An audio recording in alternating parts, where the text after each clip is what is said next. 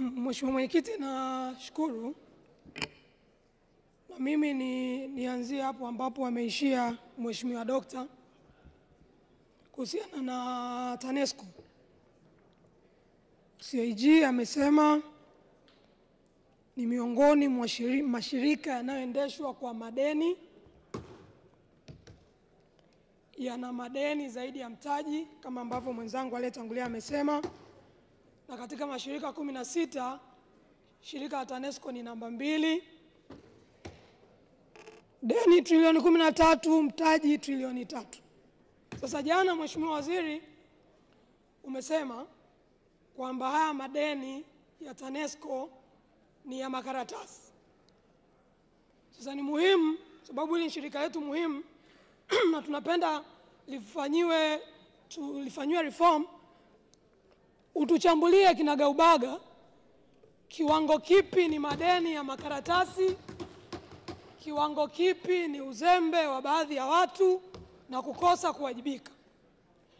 Ninasema hivi kwa sababu ukisikia deni linalozungumzwa la TANESCO sana ile bilioni mia tano nadhani la TPDC, lakini madai ya TANESCO kwa watu wengine nadhani ni kama bilioni mia nne so. Sasa hapa katikati kuna nini? Na anayojua huyo mzizi sio mwingine ni wewe. Lakini pili, tumeambiwa hivi karibuni, na nilikuwa napitia pitia hapa kwenye mafungu yako nikifikiria kwamba nitaona, sijaona kwamba tunatakiwa kuilipa Symbion shilingi bilioni mia tatu hamsini na tano. Kwa sababu gani? Kwa sababu kuna jamaa mmoja tu pale TANESCO baada ya mkataba wa Symbion wakati elfu mbili na kumi na moja na kumi na tatu ulipoisha ya elfu mbili na kumi na tano alisaini mkataba, lakini elfu mbili na kumi na sita ishirini na nne mwezi wa tano serikali ikasitisha mkataba. elfu mbili na kumi na saba wenzetu wakaenda mahakamani za kimataifa kumi na tisa wakaendelea kwenda mahakama za kimataifa. elfu mbili na ishirini na moja hatimaye serikali mkakubaliana na TANESCO mkaingia mkataba na Symbion kuilipa bilioni mia tatu ishirini na tano yaani kwa sababu tu kuna watu wamefanya maamuzi ya kuingia mkataba, wedha alikuwa ni kwa dili ama sio kwa dili, lakini serikali hiyo hiyo baada ya miezi kadhaa ikasitisha mkataba, alafu serikali hiyo hiyo inakuja inaingia makubaliano na Symbion kulipa kodi za wananchi bilioni mia tatu hamsini na tano. Sasa sasa, unajua kuna wakati unakaa unafikiri hivi, hizi hela za Watanzania hizi hizi pesa za walipa kodi hizi hivi hivi tuna uchungu nazo kweli kama tunavyosema? Mheshimiwa mkaguzi mkuu wa hesabu za serikali, na nashukuru mwanasheria mkuu yuko hapa, na juzi rafiki yangu Ruben wa, wa Muheza alisema hivi, kwa nini mawakili wetu wanasheria wetu hawaendi kupelekwa kwenye mafunzo ya kuweza kuwa wabobezi kwenye mikataba, yaani kwenye mambo muhimu. Pesa hatutengi. Leo tunaambiwa nchi yetu eti tukamlipe Simbion bilioni mia tatu hamsini na tano kwa kuvunja mkataba kizembe. Wanasheria wa nchi hii wako wapi? Mwanasheria mkuu, tunaomba majibu haya. Leo watu wanalia umeme hapa, umeme hivi. Tujiulize tu Taarifa, taarifa Mheshimiwa Mwenyekiti.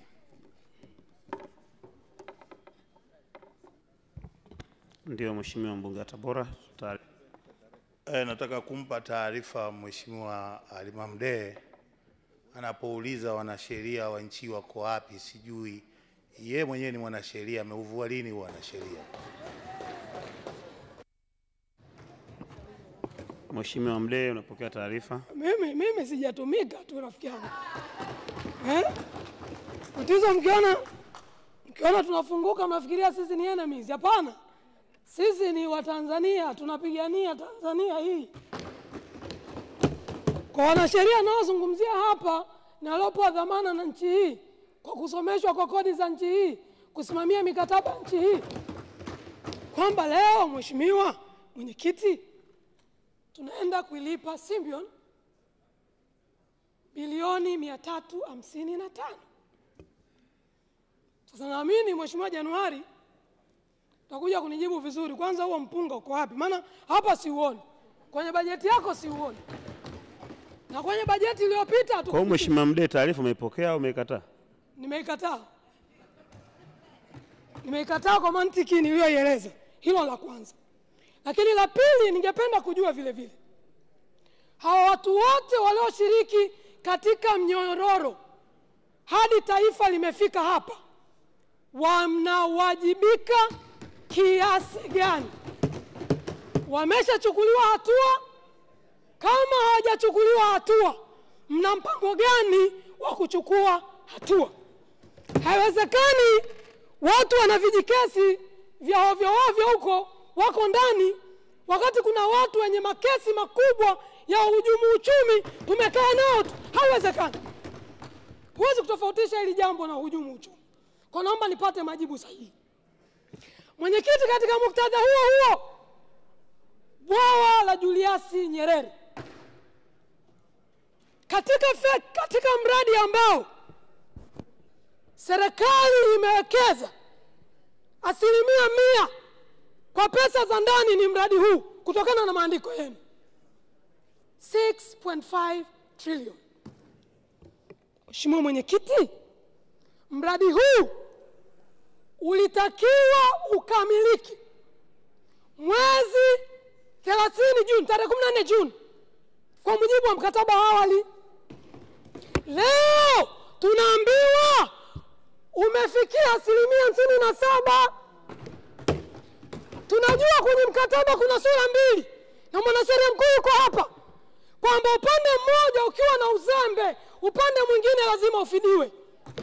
Ninaomba waziri, ukija kutujibu hapa, utuambie hasara ambayo Tanzania imeipata kwa mkandarasi huyu kuto kumaliza tarehe kumi na nne Juni, tunalipwa kiwango gani?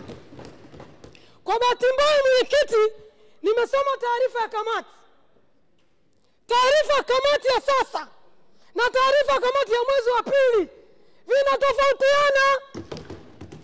Mwezi wa pili kamati ya, ya, ya nishati na madini imeeleza sababu tisa za msingi. Hizo sababu tisa ni uzembe wa mkandarasi.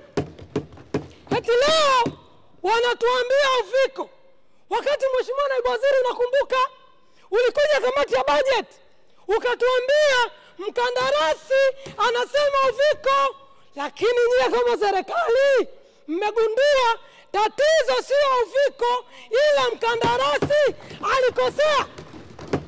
Alitakiwa ajenge matuta mawili, kajenga tuta moja. Wakati wa mafuriko mchezo mzima ukavurugika. Ndio mlisema. sasa. Mimi nataka leo, haiwezekani kila siku sisi tunapigwa, haiwezekani. Sasa leo tumempa mtu kazi tena tunamlipa vizuri, yaani kama kuna mtu analipwa kiroho safi ni huyu jamaa, yaani asilimia hana hata stress. Sasa nataka hivi, huyu mtu huyu anayekuwa pesa zetu bila stress hajamaliza ujenzi kama mkataba unavyotaka. Sababu zake alizozitoa ni za uongo. Sababu za kamati za bunge zilikuja hapa ziko valid. Waziri ukuja kutuambia kabisa, tena mkutaka kuzikubali tena, kaniambia subiri mwezi wa sita, si bado? Hasa mwezi wa sita ndio huu. Naomba taifa lipate majibu kiroho safi. mimi sina bifu na nyie, wote tunajenga nyumba moja, kiroho safi 6.5 trillion ambazo tunampa huyu kwa heshima kubwa. Nchi inapata nini kutokana na uzembe? Ili tujue kumbe bado tuna shida ya mikataba, ili tujue wanasheria wetu bado hatujajifunza kutokana na makosa. Mheshimiwa Mwenyekiti, baada ya kusema hayo, sina mengi sana leo, yaani sina mengi, hayo mawili tu.